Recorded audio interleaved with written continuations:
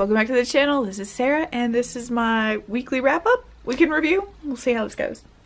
Uh, so from last Wednesday to this Wednesday, it's been a, uh, I didn't do well this week. Um, mostly that's because it was Halloween, so we spent two days celebrating with uh, my daughter and then we all got very very sick um, my COVID tests all came back negative. Uh, my husband's not so much. So we have been at home since then and we've both been miserable. And my little girl has also been very ill. Um, she's not got the cough or anything. She's just had a little bit of a fever here and there. Um, so I didn't get nearly as much done as I would have liked to have gotten done, but oh well. Um, so for the week so far, I have actually DNF'd two things. Um, I ended up DNFing the Terraformers by Annalee Newitz. This one, the concept and the ideas, I loved the ideas. They It was very, very cool.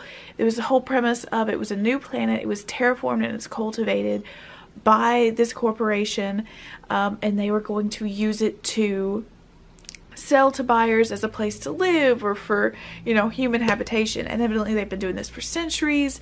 The humans on the, the beings on the planet are created by the company to work for the company and they have worked on this planet for, like I said, centuries. So the main character of the novel is supposed to be uh, I'd guess 300 years old. She's she's she's hundreds of years old, and she has lived and worked on this planet her whole life. Um, there are sentient flying moose, cats, mega mole rats. They're all employees or were employees of this company terraforming this planet. And that that's their whole thing. They're environmental rangers and they have this whole credo that they go by.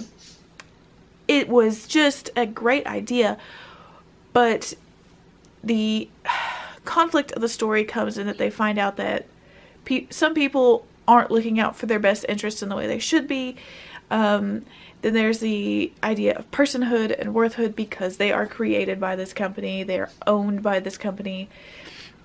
And then we get a lot of, you know, interpersonal conflict. I got about 30% through the book and it read the characters rather. The characters read like a piece of cardboard.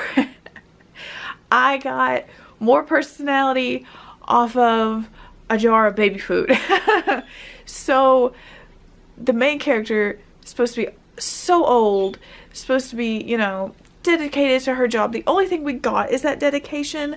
I didn't get the age. There was no introspection. That the character had no real in-depth thoughts. It was, oh, this happened. Oh, they spoke. Oh, we should probably teach teach or treat those people better. Okay, very bland, very not good. So it was I was frustrated. there are cats running amok over there. Okay, I think they stopped.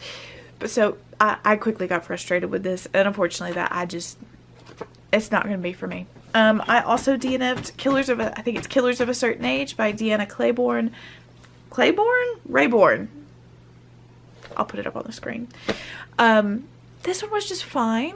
Um, I was really into the first half of this, and I DNF'd this at about 60%. And I liked the idea. I liked the, the, the whole project. It took almost the idea of like the retired badass spy uh, being forced out of retirement, being framed, uh, and fight for their lives sort of thing. They It took that idea and it ran with it, but it just... It's a little bit like eating tapioca pudding.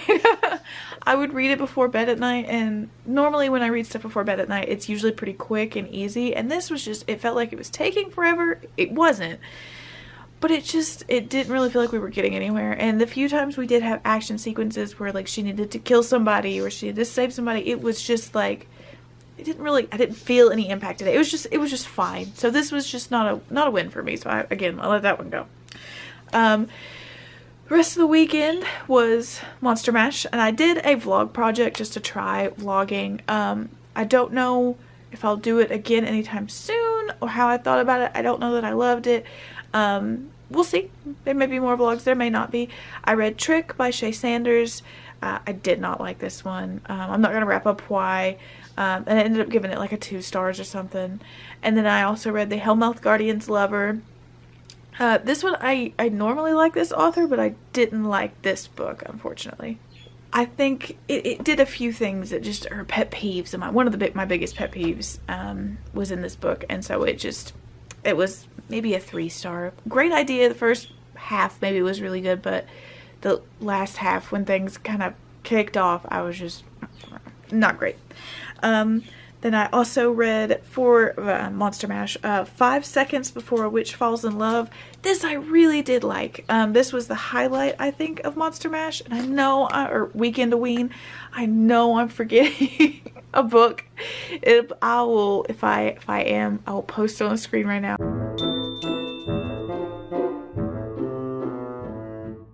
But Five Seconds Before a Witch Falls in Love was a very cute manga compilation of Yuri love stories. Very sweet.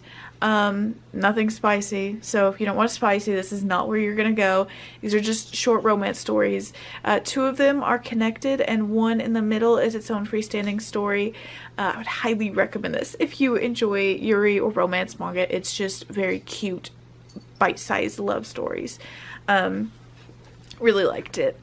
Um, then, let's see the sickness struck the family at the end of Weekendoween Monster Mash. So we, I did not get anything else done really. The only other book that I got done was the book I read yesterday when we have, we have finally started to feel better this week, uh, this week, so Monday and today. Uh, that's Asadora, Asadora by uh, Naoki Urasawa. This is, uh, I believe, the same author who wrote Monster, which I know is very popular right now online. Uh, but this is the story of Asa, and she is, I believe she becomes known as the girl who survives disasters. Um, and we meet her when she is a little, little, little girl, and she is running to get the doctor for her mother, who is giving birth to her, I think this will be her 12th sibling.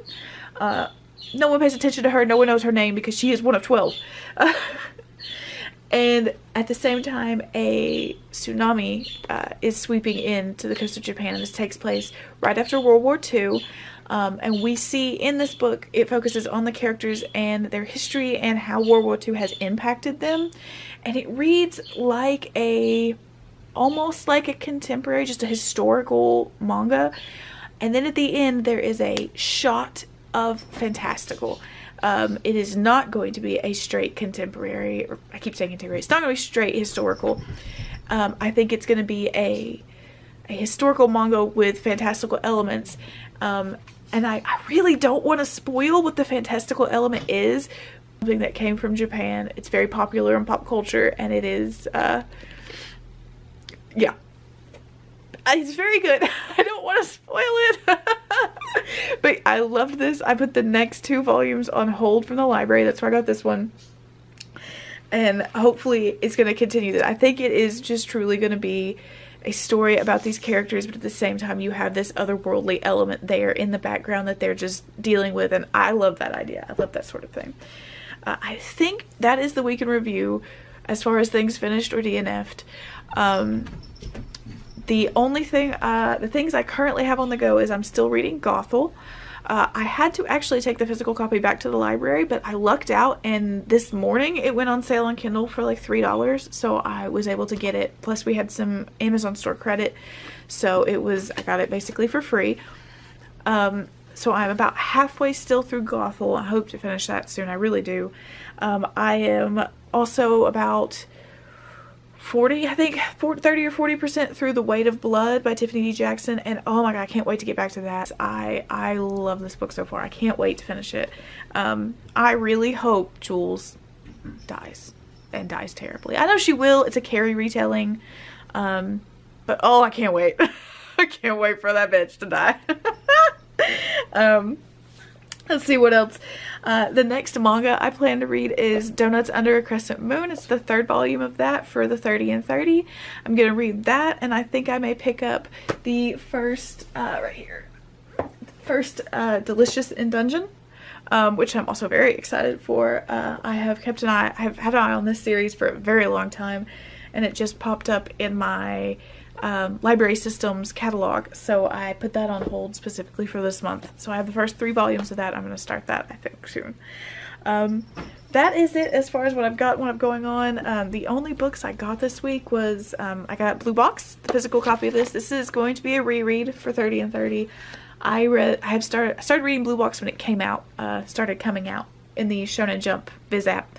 Uh, in fact, I think the first Bookstagram post, or one of the first Bookstagram posts I made when I separated my personal Instagram from my book account, um, was for Blue Box when it started coming out. Uh, this is a sports romance manga um, about a girl who plays basketball and a boy who plays, uh, I think it's just racquetball. Um, it's super cute. I really enjoy it, uh, so I'm very excited to revisit it. And I added a few things to my TBR. One is mainly, and I am sorry, there is a cat with the zoomies like right here. Yes, I'm talking about you. And my birds have been going crazy. They finally shut up, but I'm sure they'll start again. Uh, the Folding Knife by KJ Parker. Um, thanks to Petrik's Underhype Fantasy video. I have that on my TBR. That one looks interesting. If anybody's read that, let me know. Um, the Hidden City by Michelle West. I have read Michelle West before years and years and years and years ago. Like probably 10 years ago, 15 years ago. but um, I heard about that one on Reddit. I think that's supposed to be a good epic fantasy with little to no romance. I'll report back. And the other one that I have added recently to the TBR is Fresh Banana Leaves by Jessica Hernandez. And I think that is a nonfiction book following the idea of environmental recuperation and protection following in indigenous methods. So we'll see. Hopefully I'll be able to get to those soonish. Um, but that is it for like the weekly wrap up, week in review. I don't know exactly what I'm going to call this. I'm going to try and do these every Wednesday or Thursday because uh, those tend to be days that I am consistently working from home right now, even though today has been an absolute nightmare. Um, um, but that is that is it.